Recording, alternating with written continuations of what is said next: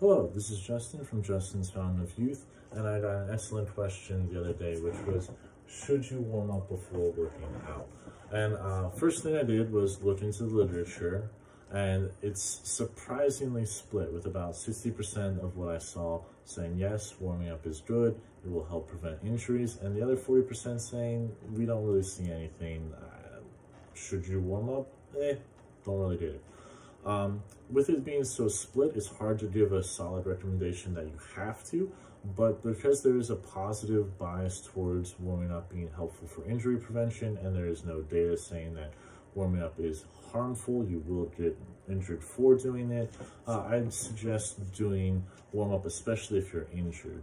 Um, however, if you're healthy, you have no lingering injuries or anything, and you're just sort of strapped for time, you want to do your workout as quickly as possible, then technically you don't really need to do any warm-up beforehand. So I'll leave that a little bit on you with a recommendation that you probably should if you have the time to. So getting into if yes, how should you warm up? This is going to be very sport and event specific. So for instance, I did uh, track and field in high school and college and uh, the entire team would do a, a uh, half a mile or two laps around the track as a warm-up and then we would split up and do continued warm-ups for whatever group you're in. Jumpers would go over there, do their warm-up. Throwers go.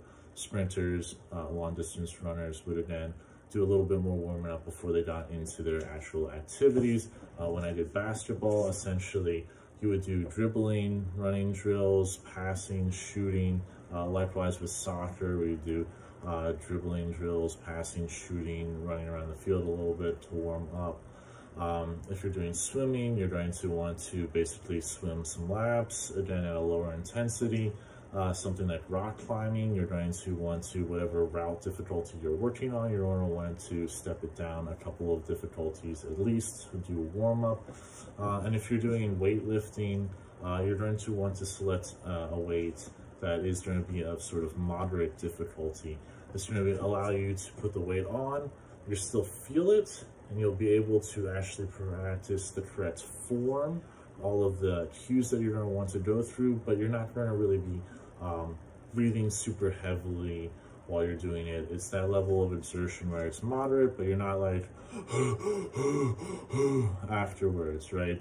You're going to still want to be able to preserve your actual full intensity effort for the workout itself. So the last thing I did ask is sort of static versus dynamic stretching. When should you do either? What's best? All of that. So static stretching is things like going down, bending, touching your toes.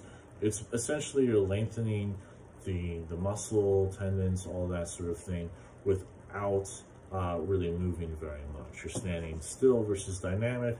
You're doing sort of can-cans. You're, you're moving while you're warming your body up. And, you know, when I was younger, um, definitely we did static before working out, uh, but sometime around my transition from middle school to high school, um, the literature started to show that static stretching probably not a good idea to do then. You should do dynamic. It's going to help warm you up better.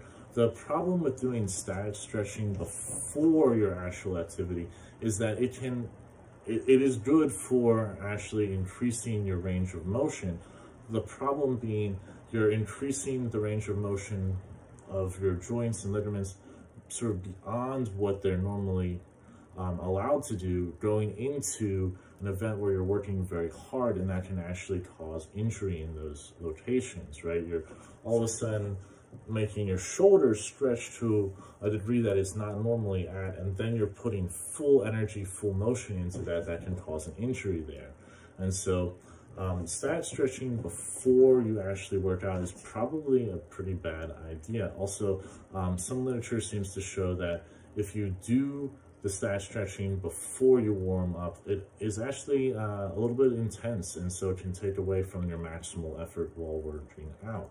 And so that's why sort of doing these dynamic sort of stretching, like I saying, you're doing something actively in whatever you're doing for your workout. And then you want to do static stretching sort of at the end after the workout is over, or you want to do that increased flexibility, mobility sort of work at a different time in the day or a different day altogether.